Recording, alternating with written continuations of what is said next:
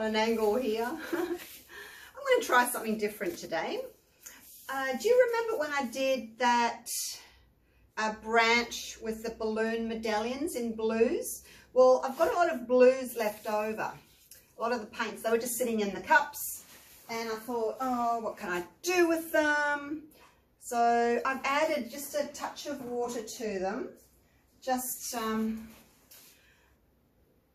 they don't the paint doesn't just like drop straight and make a hole. It kind of just makes this tiny tiny little mound probably about the same consistency I'd use for a swipe. And I'm going to try something different that puts a new meaning to the word pour painting. Now this canvas here is a 12 by 24 inch uh, 30 by 60 centimeter. And I'm going to use these syringes to do some pour painting. And they're all in the blues, the leftovers. Um, the darkest to lightest is like a turquoise and then a light greenish colour in there as well. As I said, just leftovers from that painting. I didn't want to waste them. And what I'm going to do is I'm going to put a blob up here of paint and let it drip down I'm just leaving the canvas white because I want to see some white background coming through but I've got lots of ideas of to do like um, a gold black background with black dripping, um, a red background with black and gold. So anyway, hopefully this will work because I'm excited to try something new um, and keep myself occupied while I'm in isolation when I'm not at work.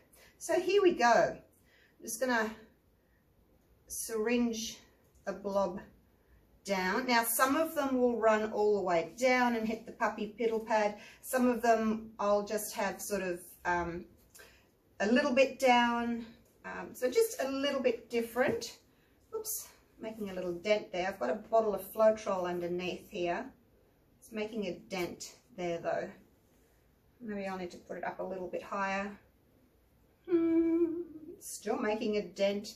I didn't think of that. I think I'm going to have to put two bottles um, and put it behind the timber actually. Or maybe I can get away with just one. I'll put it over here so I'm not going to knock it. I'll just put it there. My bottle of Floetrol. There we go. That's just holding the frame up on the side there because it was making a dent. Okay, so that one's gone all the way down. Once this is dry, I might layer over the top with a thinner amount of paint to get uh, a different kind of a look I'm just going to tip that back a little bit so I can see what I'm doing. Right, so I'm going to just go and do some of the dark blue first. All the way along. Some will have more pressure than others. And as I said, this is my first canvas that I'm doing this to. I did a little bit on a tile just to work out what the consistency needed to be. Um, and when I put one colour over the top of another colour, sometimes they split. So I'm going to wait until it's dry and then I'll go over with another colour. Right, this is my next blue.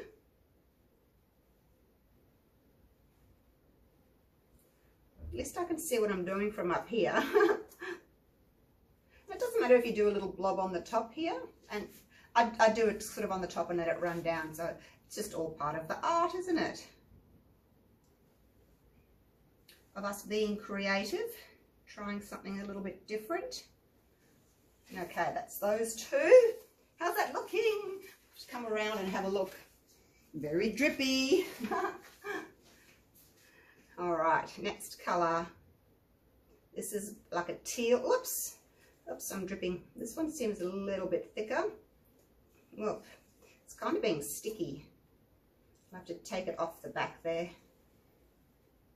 being a little bit drippy. That's all right, I'll just take it through the back. Actually, that looks quite pretty there, having a drip going down the back.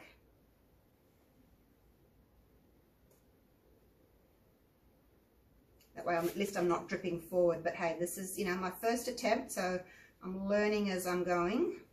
And I don't really want the colours to mix on top of each other just yet because, as I said, I found, oh my gosh, do you see that? Oh, must have had something in there and it kind of spurted. Live and learn. All right, so those are the three darker colors. Now I've got my um, light blue and light green. So hopefully there's some room in between those. Um, hopefully it won't take too long to dry. And then I can come and do some more layers.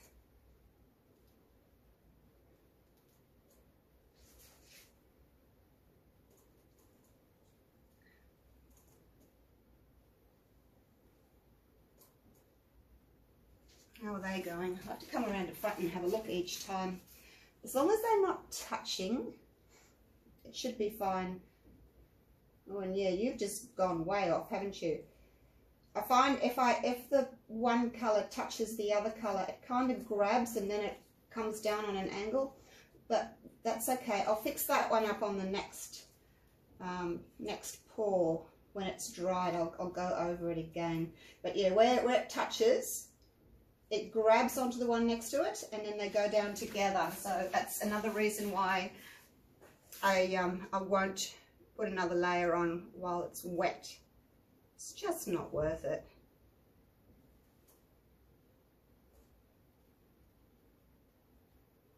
How's it looking?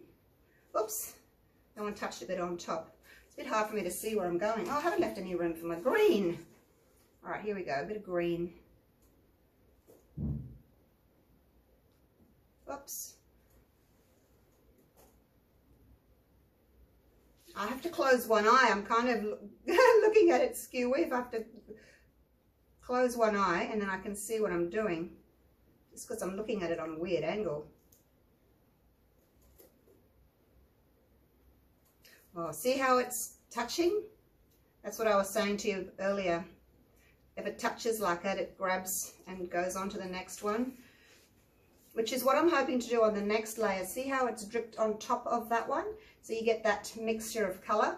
That's what I want to do on the next one. I hope my head's not in the way when I'm looking over like that. I guess I could go from the front, couldn't I? Ah, oh, done it again. Look, it's grabbed. All right, I think I'll better just leave it there because I haven't got enough room between my stripes now. I mean, that looks pretty there because I've gone over the top. Um, but that's that's what I'm going to do on my next layer. So yay! It's going to be fun. It's going to be look pretty, hey? And you can still see your white negative space underneath. But I'll fix that up on the next one. And uh, yeah, take my gloves off. That was fun, you guys. it is fun to experiment and try something new. How's it looking? How's it looking? Good looking. All right, I'll leave it there. And then when I come back and do some more layers, I'll go over the top of these ones and I'll make them shorter. So they just sit maybe halfway down on top of one of the other drips, just to give it that sort of 3D kind of look. So I will see you for the next layer. Now I want to do another layer because I'm impatient and it's in the way so I can't do anything else until I finish this. So I'm going to just use my hair dryer and dry it off.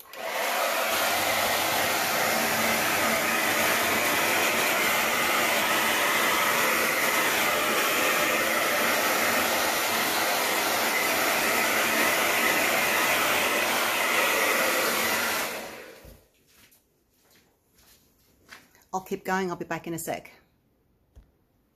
All right, so it's pretty much dry. It's probably a couple of little areas that are still a bit damp, but I'm just going to go with it because I'm impatient. And as I said, I can't do anything else because it's in my way. So, and I can't pick it up and move it because it might, you know, wiggle out of shape and all that. Um, I did go out while that was drying I went out to the um, pharmacy trying to get some toilet paper and flour. I couldn't get any, but I did manage to get some um, bigger syringes. These are 60 mil. Um, I think I upset the pharmacy a bit, the pharmacist, because he said, oh, do you need needles with those? I said, no, I don't need needles, thank you. I'm just putting paint in them. So I I think that made him feel a little bit better. Righto, let's go with the second layer. Now, actually I'll put these here. Might work in front so I can see what I'm doing. Standing on the side of the table. Right, so this one I need to go over again. Because I don't like how that started. Well, actually, I have had these sitting oh, there we go. I had them sitting over there with a damp cloth over the ends because I thought they might get, you know, dried blobs on them and then I wouldn't be able to use them. Right, we'll go over that one. There he goes. Go, you good thing. Go. Actually, I better squirt onto there with all of them. So there's quite a bit of resistance there. Oh, there we go. I think they have all sort of got dried paint on the ends. So just have a little go if you're stopping. Make sure that they're all flowing again. All right, uh, let's go over some green. Actually, it might be easier for me to stand up here behind because I'm holding the syringe on a bit of an angle. So now that I'm layering on top of one of the others, I don't want to go all the way down. So I'll just let my syringe sit on top there and just do some little blobs going down.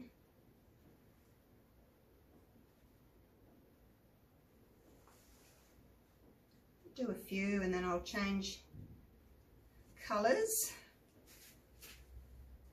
Hopefully they're all dry enough for me to work on.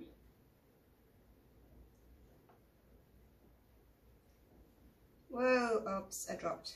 I dripped. I'll have to fill in that space later. So I think it's going to take maybe three layers. Just all depends on how much, um, you know, how much paint you want on there, I guess. Let's see if I can cover up that little blue drip there. So once everything's dry, you can, you know, go over or in between the two. Mm, let's see if I can go in between a couple that have dried. So in between these two here. I'm still leaving a little bit of white, which is nice. Okay, and I've dripped on that one, so I'm going to have to put some paint on it. And I'm going to sort of go, oh, dripped again I've got to I've got to make sure that I'm lifting my little syringe up. Now this area here where that one's bled into the other one, I'm going to go over that, see if I can get that looking a bit better. Oh, and you, you're a bit of a mess, aren't you? Let's see what we can do here.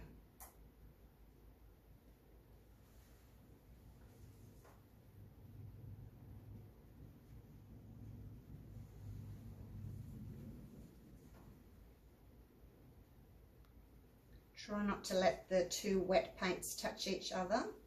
Can always come back later on and do some more.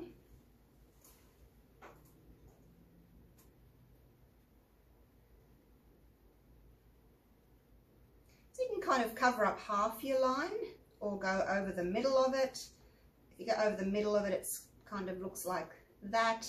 Do some bigger drips and some smaller drips just so that you're getting that variation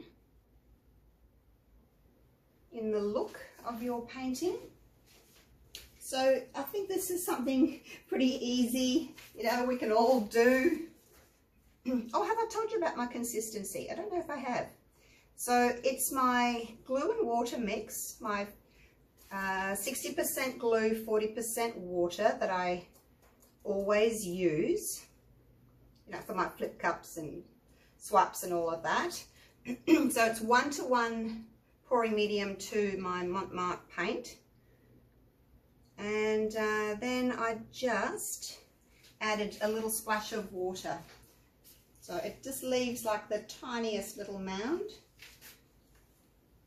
Where else can I go? I don't know that I can go anywhere else at the moment. I might have to wait for that to dry. It depends on, you know, how much, how much you want. Oops, I can go over here. Just depends on the look that you're after, how much of the background that you want to see. I will need to fix that up there, but I'll have to wait for it to dry. So that little blue there's running over that navy.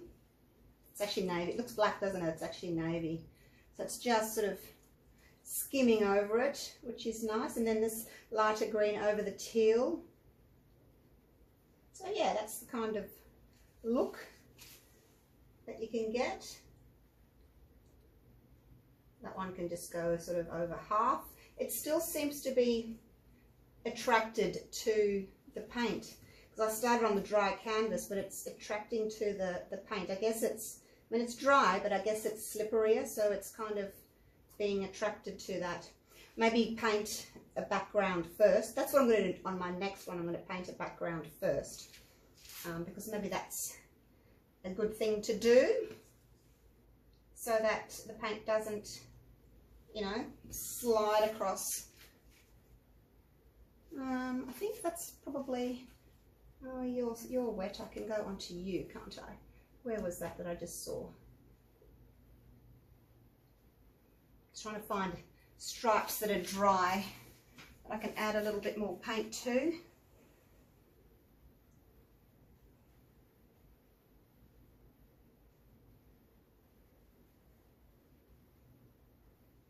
So just sort of layering on top of a dry stripe. Uh, I think I need a little bit more navy here and there. Where can I add navy? A little bit in there. Oops, you don't want to move. There we go.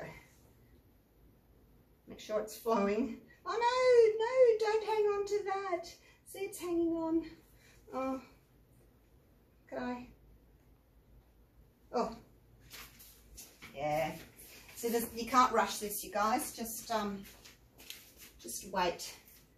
All right, I'll leave that. I was going to wipe it, but I'll leave it. I'll wait till it's dry and then I'll go in on it again. So, you know, as you can see, it takes a little while. Um, yeah, it's going to take a while, but I'll leave it sit for a little bit and then I'll get my hair dryer back onto it and dry it so I can do another layer and then that'll be it. But uh, yeah, looking good so far, hey? Do you like it? it's a bit of fun. All right. I'll see you for the next layer soon. Righto, I gave it a blast with my hairdryer and hopefully it's dry now. Oh, a little bit damp still there. So I'll go over some of these areas that need a little bit of fixing up. Just got my syringes here. I covered them with a damp cloth, just hopefully so that the they won't get clogged up. Now I will just make sure that all the paint's coming out. Might be a little bit of air in some of them. So just make sure that the paint is coming out. that one's nearly empty. Oops, there we go. So it might happen, so do it over on something that doesn't matter if it gets a bit of a splurge like that. Right, so now I have to go over this area here. Let's see if I can fix this.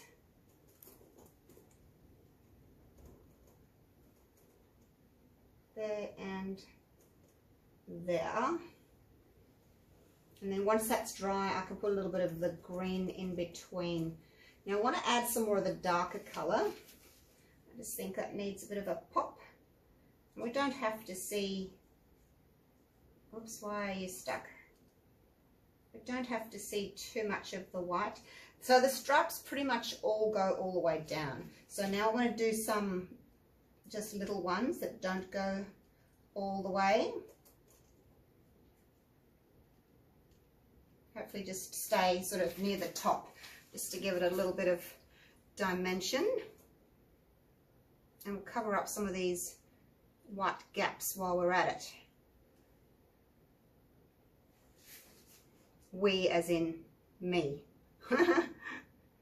go over the top of some of them, like over the green a little bit.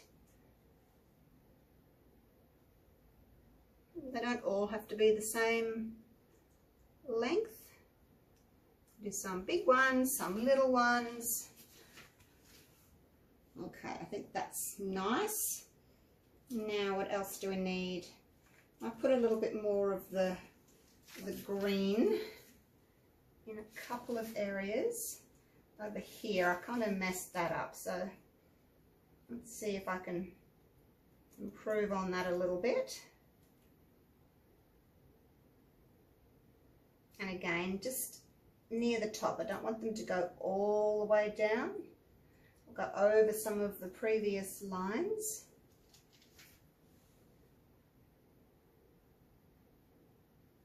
If you search drip art on YouTube, you'll see different sort of varieties of this. Some artists like the drips to run into the others, but I personally just prefer them to be straight down. So when you see them, you'll see quite a lot that have got them on angles like that. I think they've just done it all in one go and not waited for it to dry. But yeah, I, I like it for them to be straight. See that little area there? I'm going to have to go over that one.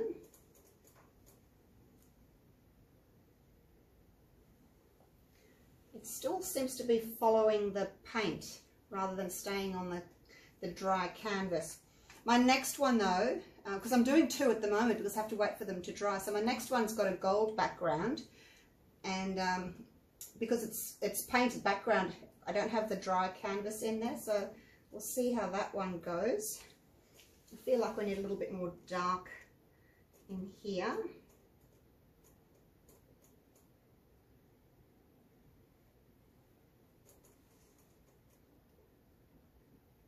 Whoops. I think that's getting to the end of that one. It's, it's quite thick, that one. Oh, I hope it goes all right. It's looking a bit odd. Wonder if I can wipe him off. Mm, no, I don't think I can. I think he's, oh, maybe. Let's try. Oops. There we go. Just don't like what he's doing there. It's very blobby.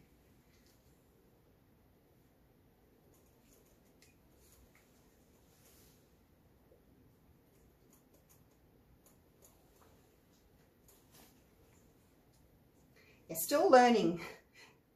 I think that was coming to the end. It must have been a little bit thick. It's looking really quite blobby there.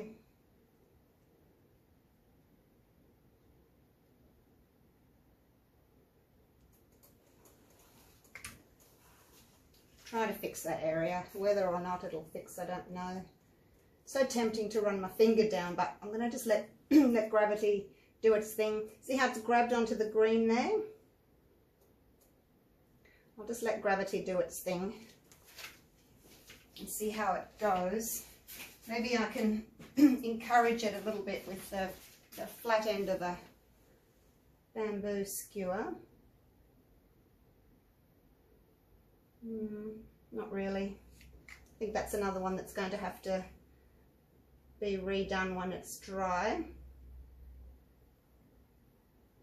If I put a lot of paint on, the, the weight of it might just push it straight down and cover that up. There it goes. Go you good thing. Well, that looks better up there anyway, doesn't it? My little mishap. So yeah, don't wait until it's almost at the end there. Might be a little bit thick in the bottom and wait until your layers are dry before you add some more. Um, let's see what else. It's dry over here. Put a little bit of that blue in. Just picking some areas that are dry. Just to add a little bit. Oh, you're not dry, are you?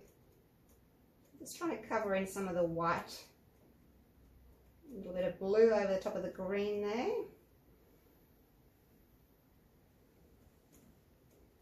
And what else?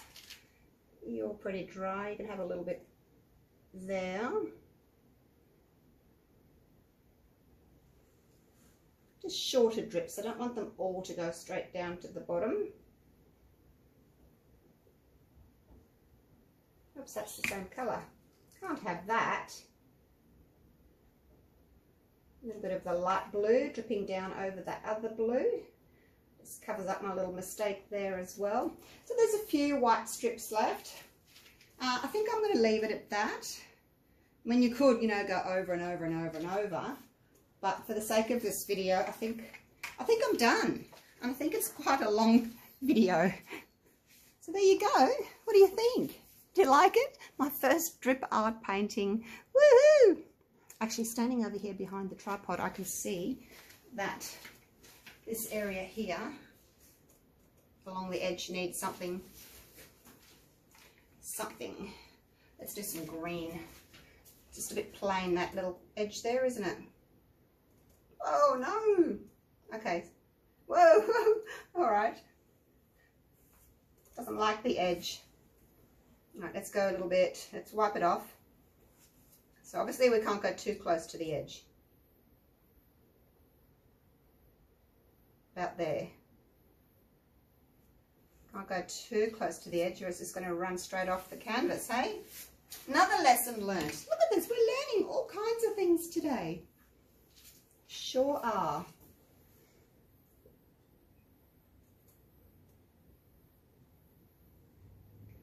Going to cover up a little bit of this white. I know I'm going over my colours, but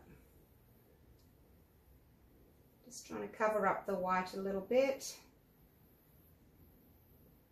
You're dry, so you should be all right there.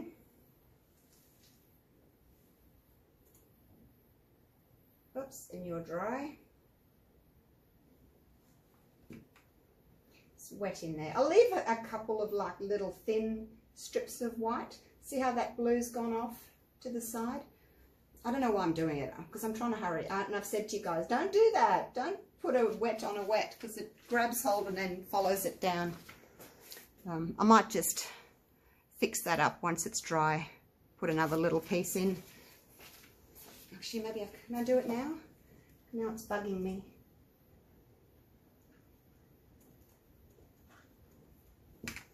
Come this way. No, no, come this way. No. All right, it's not doing it. I wanted it to come down here. Once it's dry, I'll put another little piece in there. But uh, hopefully you guys have learnt something with this. And, you know, it's art, so it doesn't have to all be exact. You know, it is what it is. It's liquid paint.